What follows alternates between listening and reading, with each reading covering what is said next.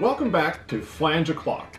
Today we're going to be discussing several different flange facing options. The face of a flange is the side opposite the hub that faces the bolted connection of the mating flange, flange fitting, or flange valve. The most common face is the raised face flange, such as the one I have here. On this Class 150 flange, we have a 16th inch raised face. On flanges in class 400 and higher, the raised face is a quarter inch tall. For more information regarding pressure classes, please see our previous video titled Pipe Flange Pressure Classes. The raised face is intended to decrease the surface area of the seal, thus concentrating the surface pressure applied when mating the flange. The result is a stronger seal. The raised face has a machine serrated finish that will bite into the gasket whenever pressure is applied. Another option with a similar method of use is the flat face, sometimes called full face, which has a machined face across the surface of the flange, serrations going from the OD all the way to the ID of the flange. These serrations then bite into the gasket just like they do with the raised face, but you have more surface area. The serrated face typically comes with either phonographic or concentric grooves. The phonographic groove is a continuous spiral from the outside of the face to the ID, or in the case of most blinds, to the center of the flange.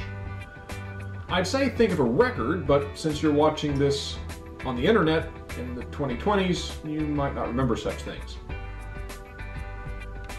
Concentric facing is sometimes required for vacuum service and looks similar to a bullseye.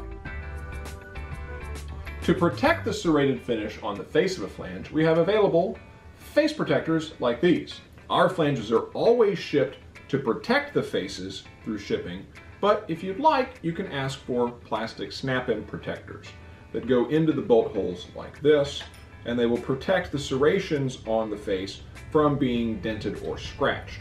Sometimes the face is damaged in such a way that it will derate the flange, so protecting the flange face is very important. There's also the ring type joint, or RTJ, that is used when a metal to metal seal is required or desirable.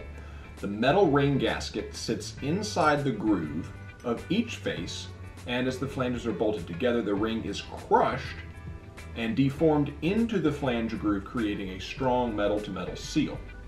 These are useful in high temperature and high pressure applications, but also available in all pressure classes, like this 150 pound that takes an R15 gasket.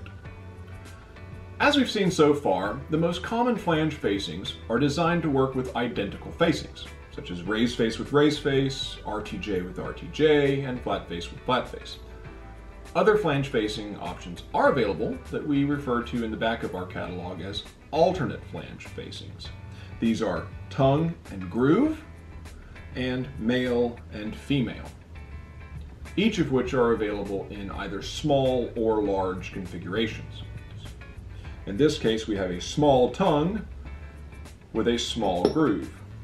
We have a small male with a small female. Note you'll need special gaskets in each of these cases. Note that everything we've covered so far on facing has not addressed the type of flange. Most of these are available in all types, so when calling out the facing required, please remember to include all other required descriptors, like size, pressure class, the flange type, the schedule if it's a weld neck or a socket weld, and the material of construction. So whether you need a half inch, 150 pound flat face slip-on in A105, a 12 inch, 600 pound RTJ weld neck extra heavy in 316, or a 60 inch, 300 pound raised face blind Series A and F11, or some oddball in Inconel 625. We're here to get you the flanges you need when you need them.